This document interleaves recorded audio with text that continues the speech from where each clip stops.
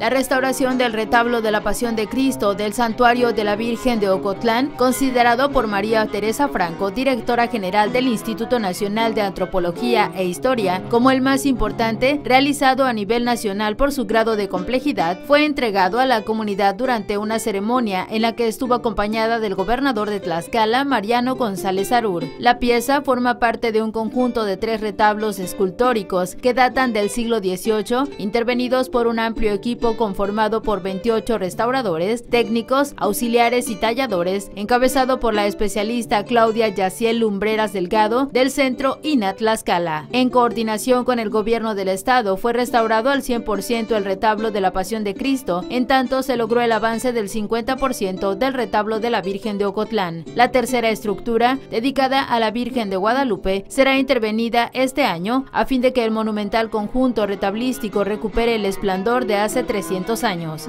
La obra cuenta con esculturas policromadas en su mayoría y solo algunos elementos estofados que fueron modificados en el siglo XIX, lo cual se determinó mediante calas. Las imágenes del retablo representan a la Virgen Dolorosa, la Piedad, Jesús Nazareno y un elemento pictórico alusivo al divino rostro. La titular del INA expresó que este trabajo significó una aventura muy profunda, espiritual y técnica de grandes oficios y enorme finura, logrando una especie de resurrección de la magnificencia de una obra emblemática del arte barroco novohispano. Añadió que en abril estará de nuevo el equipo de especialistas laborando para continuar las obras de restauración. Previo a la entrega del retablo de la Pasión de Cristo se llevó a cabo la firma del convenio marco de colaboración y coordinación celebrado entre el INA y los principales ayuntamientos del estado de Tlaxcala. Finalmente, la directora del INA, María Teresa Franco, señaló que la enorme riqueza y la diversidad de tesoros culturales de Requiere un alto compromiso por parte del instituto y una tarea global y transversal de autoridades y sociedad para la preservación de este patrimonio.